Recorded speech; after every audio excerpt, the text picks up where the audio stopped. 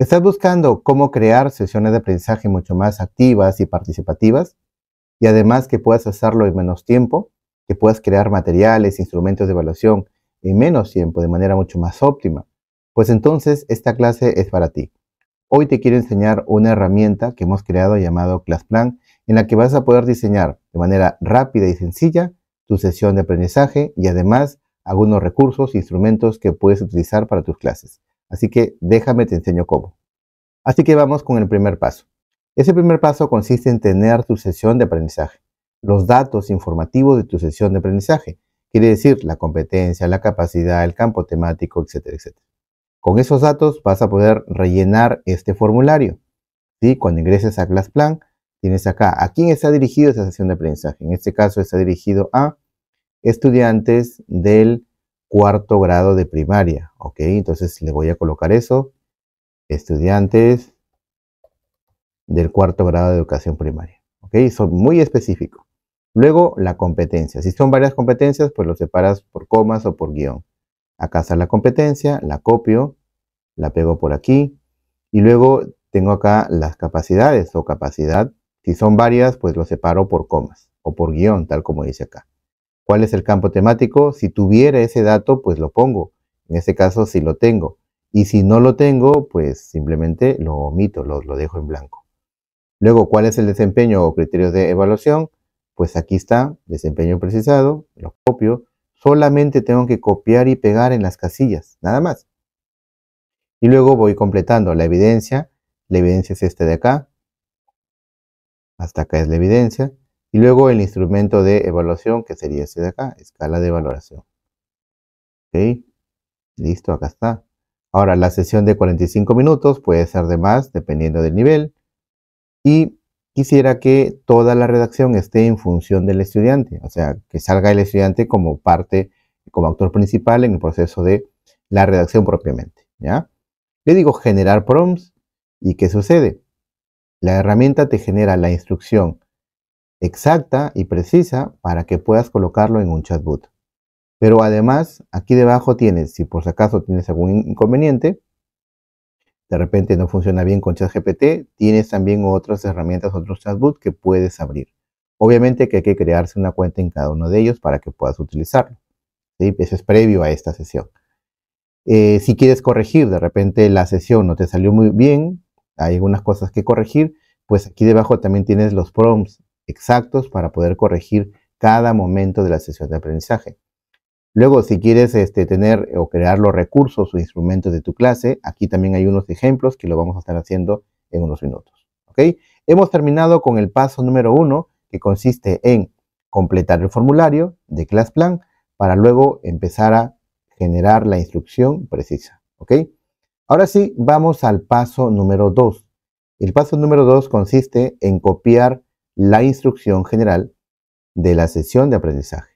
¿Ok? Ese es el PROM. Entonces le voy a decir copiar, copiar PROM.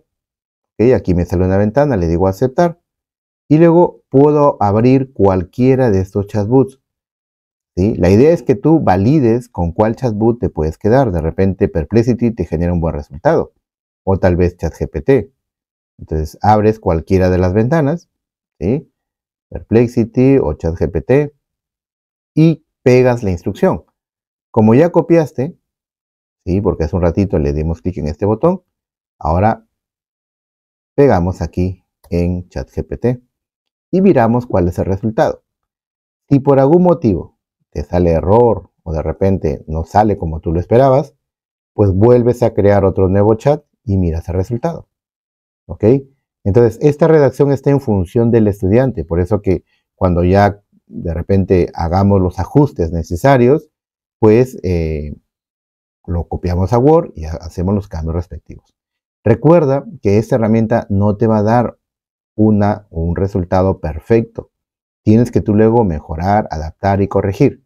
Esa es la fórmula para tener buenos resultados y apoyarte de estas herramientas. Entonces aquí me dio ya la sesión de aprendizaje. ¿Sí? Me dio con cada uno de los momentos, en inicio, en proceso, en cierre, me da inclusive algunos lineamientos, me figura las actividades, me menciona también este, eh, algunas preguntas de metacondición y me muestra los anexos. Entonces ya me generó. Pero ¿qué pasaría si de repente quisiera más detalles, más explicación, porque tal vez no me convence mucho la sesión?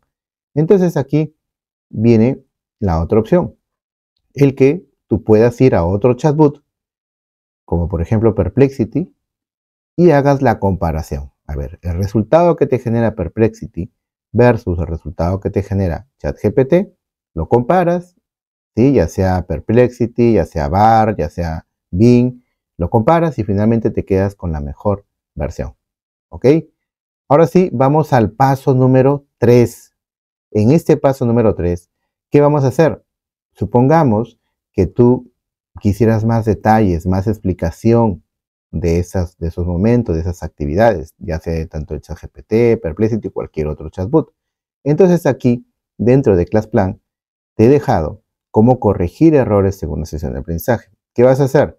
vas a copiar la instrucción, vas a ChatGPT, pegas, pero hay que leer lo que dice. Del texto anterior, crea de manera detallada y con ejemplos el momento de inicio, presente en párrafos. ¿Ok? Vamos a ver qué sucede. Me da una explicación más detallada de qué voy a hacer en esta primera etapa de mi sesión de aprendizaje. Me da algunos ejemplos, me muestra más cosas que tal vez no las tenía pensadas, pero que aquí ya puedo resolverlo. ¿Ok? Y esto me genera a mí más ideas todavía innovadoras para poderlas incorporar y aplicar en mi clase. Entonces ya tengo aquí un resultado. Esto me inspira, esto me permite ordenar luego para pasarlo a Word. ¿Ok? Ahora sí, vamos con la siguiente instrucción. Quisiera mejorar la etapa del proceso, pues copio, me voy aquí a ChatGPT y miro el resultado. Entonces aquí me da una explicación de qué debería de hacer en esta etapa, qué recursos debería de utilizar, etcétera, etcétera, etcétera. Esto es opcional. Este paso número 3 es opcional. Si quieres lo aplicas y si no, solamente te quedas con el resultado que te ha generado en el paso 2. ¿De acuerdo? Entonces, aquí tienes para la etapa del cierre, también tienes acá los detalles, la instrucción exacta para que la herramienta te genere el resultado. Y con eso ya tienes una información más detallada que podrías utilizar. ¿De acuerdo? Así que ahora sí vamos con el paso número 4. En este paso 4 consiste ya en poder copiar la sesión de aprendizaje. Vamos a copiar la sesión de aprendizaje. Toda esa sesión de aprendizaje la vamos a copiar a un documento Word. ¿Qué vamos a hacer? Pues seleccionamos todo el texto. ¿Ok? Hay que seleccionar desde el primer bloque de la tabla. Lo seleccionamos hasta acá. Nos vamos a un documento Word. Supongamos yo estoy trabajando por aquí en Google Drive. Puede ser en Word directamente. ¿sí? Y aquí yo lo que hago es simplemente presiono Control V o Control V chica y ya tengo la sesión de aprendizaje. ¿Ok? Si no pudiste verlo, retrocede el video, para que veas paso a paso cómo se copia y cómo se pegan en tu documento. Y aquí, ¿qué harías? Hacer los ajustes, las mejoras y la adaptación necesaria que tú requieras según tu contexto para que así la sesión de aprendizaje quede adaptado según tus necesidades. ¿Ok? Así que vamos con el último paso. El último paso consiste en elaborar los materiales, los recursos, los instrumentos que vas a utilizar para tu sesión. Aunque aquí no hay algo específico eh, según la sesión, pero aquí te he puesto algunos ejemplos que podrías utilizar. ¿De acuerdo? Vamos a hacer brevemente algunos de esos ejemplos para que tú los puedas tener en cuenta y los puedas utilizar y luego validar siempre la información si es adecuado o no para ti. Por ejemplo, aquí te he dejado tres recursos. Ficha de observación, cómo se hace, cómo se hace una rúbrica y cómo se hace una ficha práctica. ¿Ok? Entonces, si quiero crear una ficha de observación, vas a aprender ahora a descifrar cómo construir la instrucción. Le dices copiar por un 5, copias la instrucción y ahora te vas a ChatGPT y vas a decirle lo siguiente. Como este, eh, esta sesión de aprendizaje es para educación primaria, pues vamos a decir, actúa como un profesor experto en educación primaria, ¿ok? Crea una ficha de observación, ¿ya? Recuerda que aquí tú tienes esto, mira. Creo una ficha de observación. ¿Para qué? Para calificar el desempeño del estudiante, en este caso de un o de los estudiantes, sería de los estudiantes, de los estudiantes del, la sesión era de cuarto grado, ¿verdad? De cuarto de primaria. Entonces, para calificar el desempeño de los estudiantes del cuarto grado de primaria sobre su exposición oral, ¿ok? ¿Por qué? Porque quiero que le explique sobre imágenes y objetos mochicas. Perfecto. Presenta toda una tabla y le digo, en la columna 1 pon la categoría de evaluación, cinco criterios de evaluación detallado y en la columna 2 pon sí y no según corresponda. ¿Ok? Entonces, eh, le digo también que toda la redacción se haga en función del estudiante y en singular. Ya, solamente voy a cambiar lo que está entre corchetes, es lo que voy a cambiar. Nada más eso. ¿Sí? Solo lo que está entre corchetes y ejecuto. Y ojo que lo estoy haciendo en función de la sesión de aprendizaje. No estoy creando otro recurso ni otro instrumento. Lo estoy haciendo en función de, esa, de ese este, anexo que me ha generado. Y aquí tienes ya tu ficha de observación. ¿Ok? Tienes tu ficha de observación que puedes adaptar, puedes ajustar según tus necesidades. ¿De acuerdo? ¿Qué pasaría si necesitas otro recurso? Necesitas una rúbrica de evaluación. Copiar PROM le vas a copiar PROM 6, pegas acá y igual lo que esté entre corchetes es lo que vas a cambiar. Actúa como un profesor experto en educación primaria. ¿Por qué? Porque la sesión de aprendizaje es de primaria.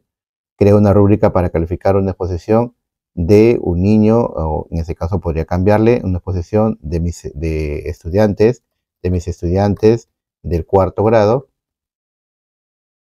del nivel primario. ¿Ok? Los niveles de logro son Tú los especificas, eh, pueden ser 5, pueden ser 3 y enviar mensaje. ¿Ok? Entonces tú solamente modificas lo que está entre corchetes, nada más, y con eso tienes el resultado. Pero ya tienes el ejemplo y la, ruta precisa. Y entonces acá tú tienes tu rúbrica. Y de esa manera vas a ir construyendo más y más recursos. ¿Qué pasa con una ficha práctica? Mira, ¿qué pasa con una ficha práctica? Entonces yo copio acá, me voy a ChatGPT y aquí hago las modificaciones.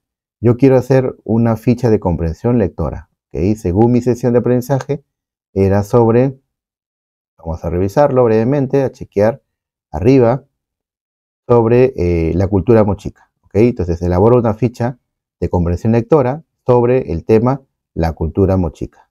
Le cambio acá, la cultura mochica. Para niños de del cuarto grado, le cambio acá, del cuarto grado del nivel primario. ¿sí? Aquí te recomiendo que no sea tan extenso los caracteres, porque recuerda que ChatGPT en versión gratuita es limitado, y vas probando, ¿no? Entonces, luego pones las, los tipos de preguntas que quieres incorporar en la ficha. Recuerda que una ficha es una lectura y preguntas de evaluación, ¿verdad? Entonces tú acá le pones, quiero preguntas para completar, quiero preguntas para relacionar, quiero preguntas para dibujar, quiero preguntas para selección única, y le pongo que me diga la clave de respuestas también. Le digo ejecutar y listo. Y entonces ya tienes acá tu lectura, que obviamente hay que validar, corregir, adaptar. Y luego aquí debajo tienes las preguntas para empezar a completar. Así que tienes acá los cinco pasos para que puedas tú empezar a crear tu sesión de aprendizaje, tus recursos y tus instrumentos de evaluación. Así que pon en práctica cada uno de estos cinco pasos y déjame tu comentario. Recuerda, tu tarea tienes que enviarlo a través del grupo de Facebook para que allí puedas compartir y socializar tu resultado y de esa manera seguir avanzando en este proceso de fortalecer tu nueva habilidad digital, integrar la inteligencia artificial dentro de tu labor docente.